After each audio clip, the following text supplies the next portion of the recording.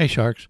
So, for this example, we're going to show you one of my buddies. His name is Joe Beck, and um, he has a digital card because he's a he's known as a sales activist. He's a very uh, well-known uh, sales coach that um, living out in in the Arizona area area, and um, so this is his card. The animation sequence finishes here, and um, and then he's got a number of different buttons, but for the most part, uh, they're similar to all the ones that we have out there. The only thing that's different that I'm pointing out here is the podcast button.